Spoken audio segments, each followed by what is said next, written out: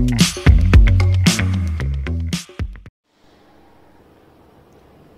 are going to see the radiological features of scurvy.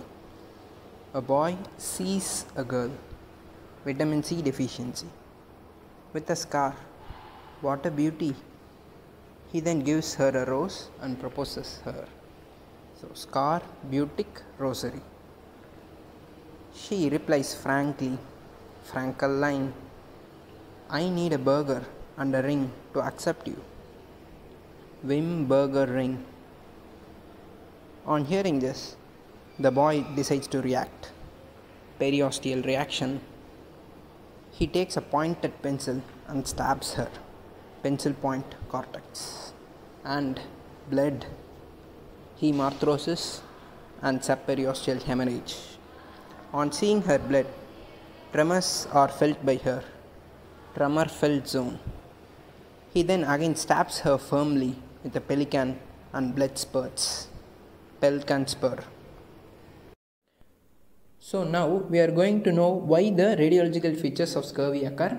In bone there are two components, the osteoid component and the mineral component. In osteoid component the major protein is collagen. Collagen to form its triple helical structure, hydroxylation of proline and lysine is needed. This is dependent on vitamin C. In scurvy there is less vitamin C, so there is defective collagen, so there is weak bone. The costochondral junctions swell even on normal respiration as it as it's so weak. So this is scorbutic rosary. In scurvy there is defective osteoid and normal mineralization. The cartilage grows slowly but calcium deposits at normal rate leading to excess calcium deposition leading to Frankel's line and Pelican spur. Collagen is also present in blood vessels. So in scurvy there are fragile blood vessels. In periosteum leading to subperiosteal hemorrhage which is the periosteal reaction.